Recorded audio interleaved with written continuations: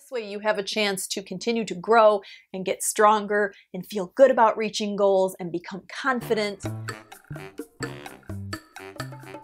Hello, I'm Anne, and welcome to Chronically Beautiful, where we are trying to live our best life, even though we probably don't feel like it.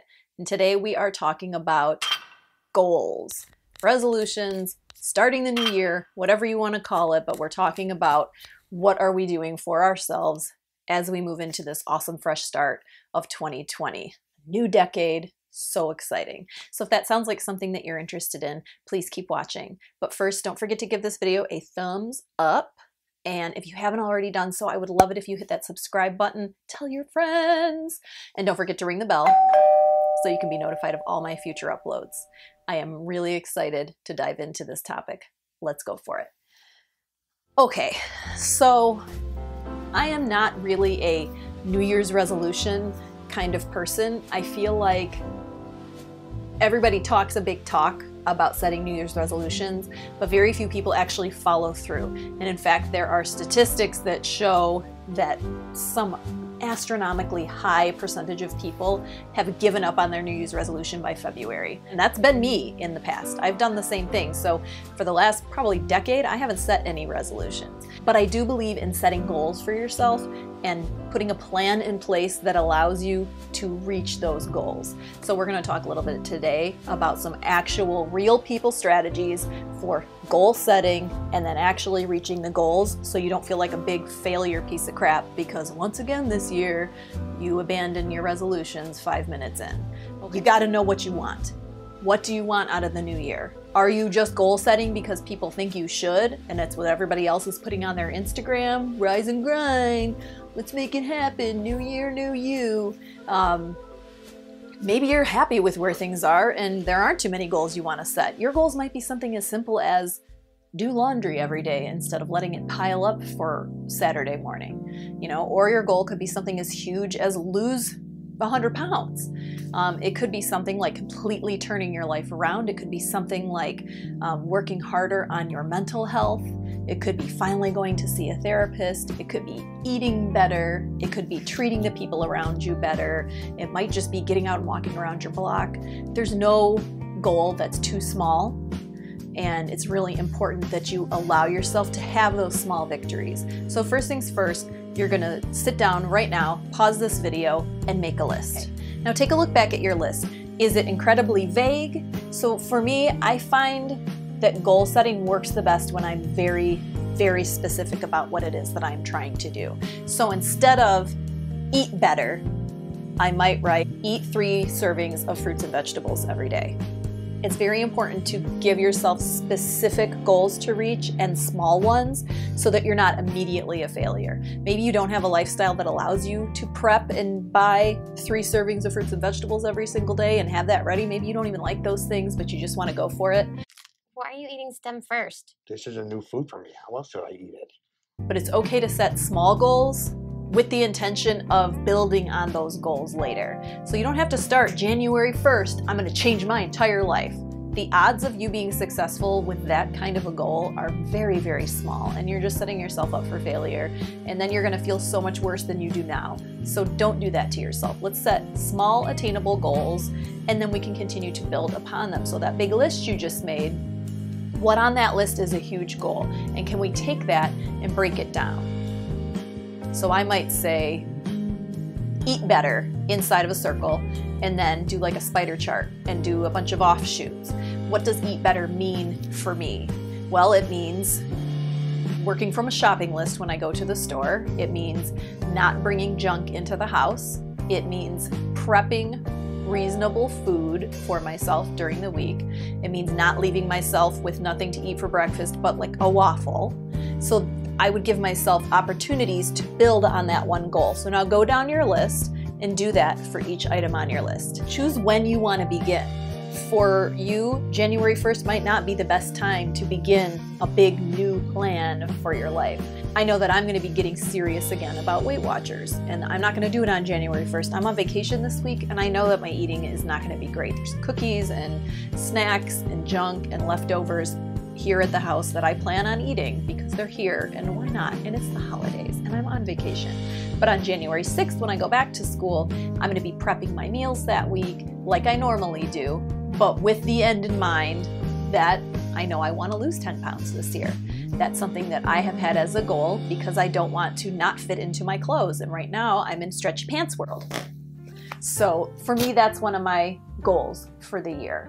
And I'm hoping to hit it sooner than later. We have a pool. I'd like to feel comfortable swimming at it this next summer. So that's just one of my goals.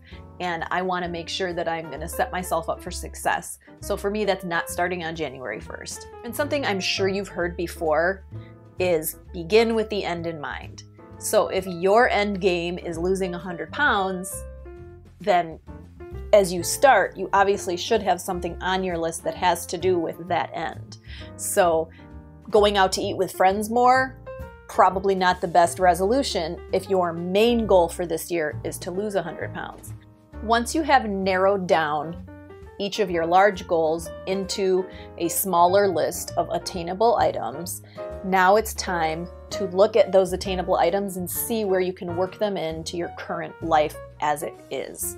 So it's unlikely that if you do not exercise that you are going to start getting up at 5 a.m. every day and going and working out. You must have a a stronger will than I if you are able to do that because that is not something I can do. And as something else you want to do is make sure that you are plugging in the items that you made from your big list down to your small list. How can you fit these into your life? Do you use a planner? Do you use a phone? How do you keep track of your schedule? So for me, this is one of my planners. Um, this is where I keep track of my monthly schedule. So this is something that I would go in and look and see what do I have going on this month? Is this an opportunity for me to say, okay, well, this is a light month. This is going to be a great opportunity for me to start putting in a little bit of exercise. Maybe I can take a walk twice this week because there's not a lot going on. So, part of this is not just saying, bam, I'm going to change everything, but you already have a life. You already know what works for you.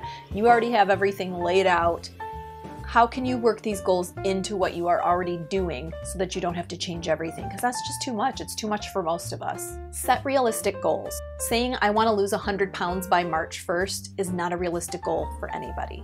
Saying I want to start getting up an hour earlier by March 1st, that's realistic. And it gives you time to ease into it saying I'm going to get up an hour earlier starting January 1st and that's just going to be my new life, for me, that's not something I could do. Uh, that would mean for me getting up at 5 a.m. and I could not change my whole life immediately like that and just dive in. So setting realistic goals for yourself that are going to work is really, really important. Speaking to your family, your partner, the people that you spend your life with about your goals is really important having the support of those around you is something that is going to be so beneficial in you actually reaching your goals. And they need your support as well. I know sometimes it's hard because other people in your life might not be supportive and they might think all of this is just a bunch of nonsense. But tell them how important it is to you. And even if they don't believe in it, they believe in you and they need to know that you need that from them. So be open, be honest, let them know what's going on. Maybe say, hey, please don't ask to take me out to the Dairy Queen because I, I, I can't say no to that invitation because it's just too delicious. okay, focus, Anne. Um, maybe say to them, if you see me acting in a way that's unpleasant, and I have been really making a goal of trying to be more pleasant, if you see me acting like a control freak, put your hand on my arm and just help me to reel myself back in in a way that's not, you know, starting a fight. Ask your partner for help. Maybe ask them, hey, I'm trying to keep junk out of the house. Can you take your cookies to work and just leave them there? Little things like that. You know, hey, I'm going to go start seeing this therapist. Um, could you cover dinner for the family on Tuesday nights? Because that's when I'm going to be going. There are so many ways that the people around you can help you let them help you. Something else that's important about communicating your goals with others is that when other people know that you've set a goal for yourself, you are now accountable to those people. You know, if, if you're putting it out there on Facebook, that's, you know, 500, 600, 1,000, whatever, how many people follow you on Facebook, all those people know now. And for me, being public like that, it's hard for me to fail when people are watching me Like, I will make sure that I don't fail when people are watching me because that's just how I am. I tell this to my students all the time. I'm a band director, and we go and we participate in festivals, and, and my group is very good, but we work really, really, really hard to be good. And something I say to them all the time is, I know you can do it because you have to. You don't have a choice. We have to be good because it's it's out there. The people that are listening to us know that we're good and now that they know that, we're responsible. We have to keep this up. We're not willing to go back down. And that's something that you need to put on yourself as well. Okay? Make yourself accountable to others. Let people know. Make your goals public. Don't give yourself too many goals having a giant to do list of every little thing that you don't like about yourself that you're to fix this year is not good. It's not healthy, it's not realistic, it's not to happen, and it's just not to be good for you or the people around you. You're to end up miserable and feeling like a failure, and the whole thing's just to blow up. I don't want to be negative, but I'm sorry. That's what's to happen if you list 100 things that you hate that you need to fix right now. So give yourself the opportunity to be successful by, again, being reasonable. You don't need a list of 50 things. Pick one, two, three at the most. And once you have accomplished those things, there's nothing that says that you can't make a new list in March or June or August or next December. You don't have to make the list now. You can just grab a few things off that big list that we made in the beginning, put the rest of it away, stick it in a drawer, fold it in a book, put it away, save it for when you have reached some of the smaller goals. Allow yourself the opportunity to work in tiers. T I E R, not tears. This way, you have a chance to continue to grow and get stronger and feel good about reaching goals and become confident in the person that you are becoming. And you don't have this huge wall in front of you that you just always are looking up and it seems like you've never gotten any higher up the wall. Finally, give yourself a break. We all mess up. We all have days that just aren't good.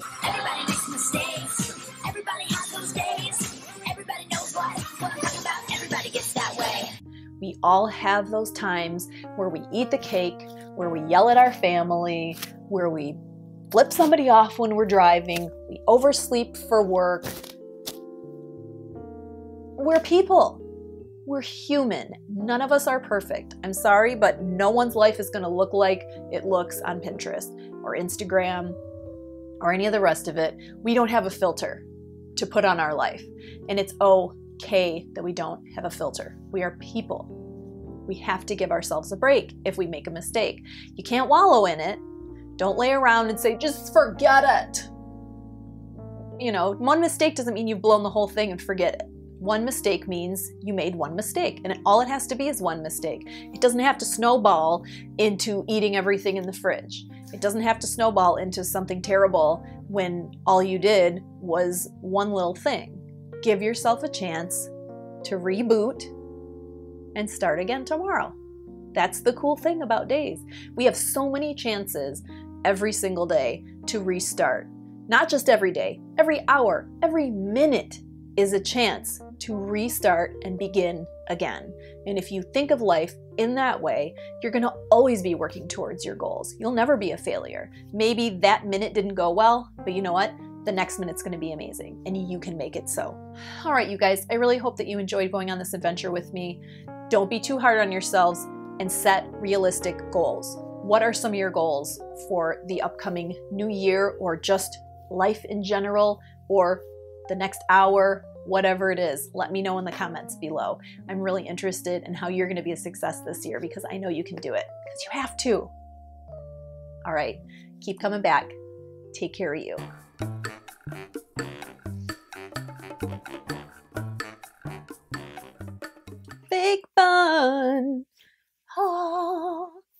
That's right, I said hogwash.